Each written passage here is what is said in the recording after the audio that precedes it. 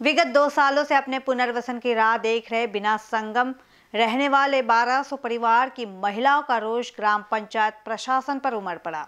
जी ये वाक्य बुधवार की दोपहर बिना संगम ग्राम पंचायत में हुआ। गाँव की अधिकांश महिला घर से निकलकर ग्राम पंचायत पहुँची। गाँव में अनावश्यक किए जा रहे विकास कार्य रोककर बाढ़ पीड़ित और कोयला खदान की दंगाइयों से बेघर हुए लोगों की मदद के लिए खर्च करने की मांग करने लगे। बीना संगम गाँव के लोगों की ज़मीन कोयला खदान ने अधिग्रहण कर ली है। साथ ही साथ वहाँ उनका अधिग्रहण कर वहाँ ओपन कास्ट खादान भी शुरू कर दी। बीना संगम के लोगों के पुनर्वसन के लिए महाजैनको ने 122 करोड़ और वैकोली प्रशासन ने पचासी खरीद मंजूर किए हैं, लेकिन अभी तक दोनों कंपनियों ने जिलाधिकारी कार्यालय में पैसे जमा नहीं करवाए। गाँव के पुनर्वसन के लिए 120 एकड़ जगह प्रस्तावित की गई है, लेकिन दोनों ही कंपनियों ने पैसे जमा नहीं किए। इसलिए पुनर्वसन के लिए ज़मीन की खरीदारी रुकी पड़ी है। पीडब्ल्यूडी विभाग की दो साल से गाँव वासियों के घर और जगह का मूल्यांकन भी हो रहा है।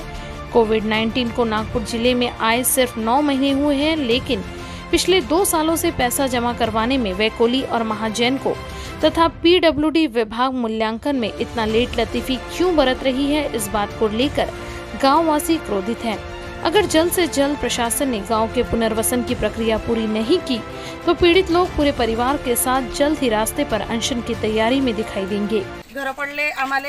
आमच्या आमची याला ग्रामपंचायत सुधी घेतली पाहिजे. आमचे घरं पडले आम्ही. आमचे परिवार इकडे तिकडे राहून राहिलो हवं आणि आम्हाला आमच्या गावचं पुनर्वसन लवकरात लवकर झालं पाहिजे.